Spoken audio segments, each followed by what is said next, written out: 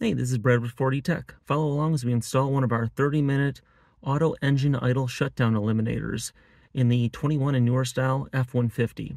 This applies to all the trim levels, including the Raptor.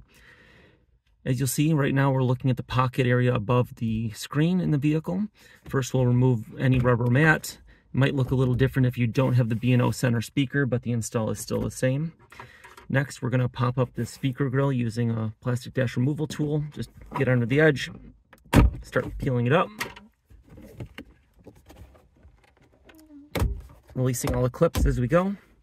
As you can see, there's eight clips in the back of this.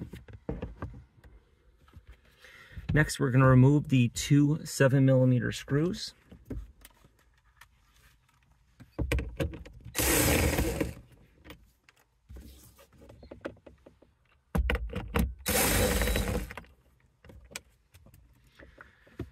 Next, we're going to peel the top edge of the trim away. It does not need to be fully removed, just peel back a little bit.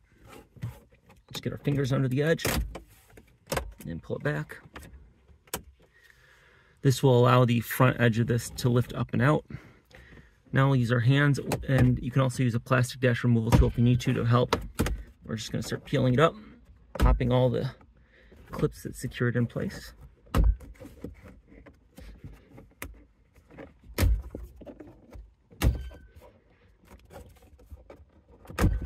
In this case, because we do have a speaker, we'll need to disconnect the electrical connector right here.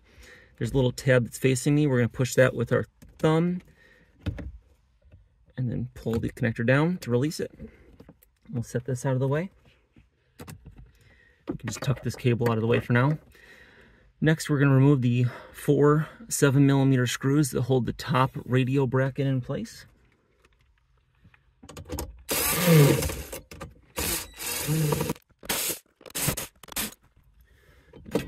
set this bracket aside. The harness we need to plug into is right here. Uh, it's the um, large 32 pin connector that's all the way towards the driver's side. You can disconnect that and install the um, shutdown eliminator uh, without removing the audio control module, the radio here. We're going to go ahead and show you how to remove this to make it even easier. There are four 7 millimeter screws that secure the radio itself.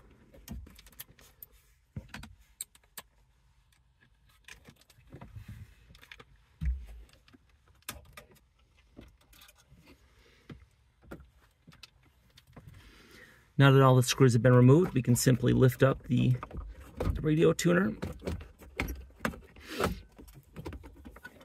And on the back side, you'll see there are many connectors. This black one on the far left here toward the driver's side we'll need to release. There is a tab on the top of the connector. We obviously have it upside down right now, but we're going to depress that with our finger and pull the connector out.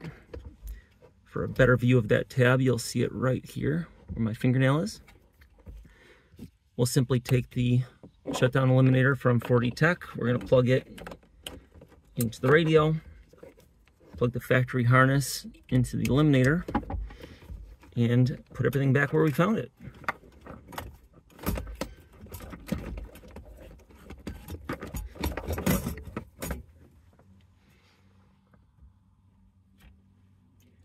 Next, we'll start putting the four 7 millimeter screws back in.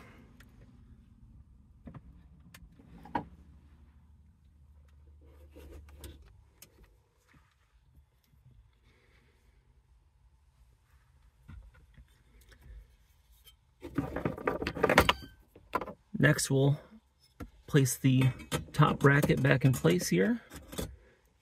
And we'll replace the four 7 millimeter screws that secure that.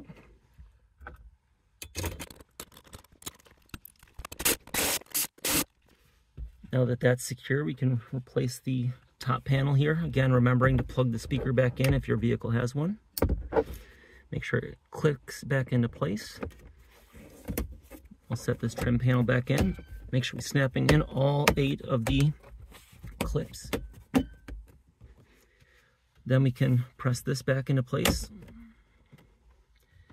We're going to replace the two 7 millimeter screws that are securing this.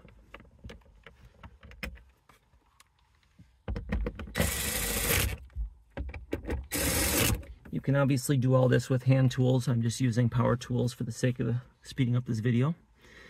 We'll now replace this top cover, making sure snap all these back in and replace the tray mat.